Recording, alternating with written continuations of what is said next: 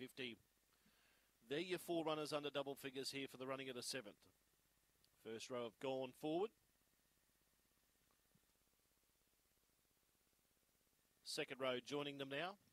Green lights on. And we're ready to jump. Lures on its way.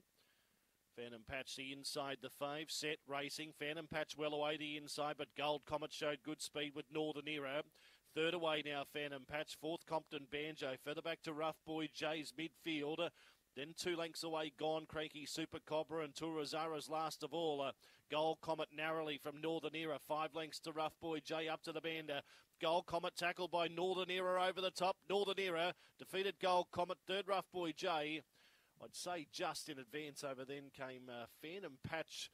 Compton Banjo was the next one. Then came Gone Cranky, Super Cobra, Turazara, one of the last in. The time was around 23 and 10. Northern Era, number six for Neville Lenihan, defeats the five Gold Comet, the eight Rough Boy J.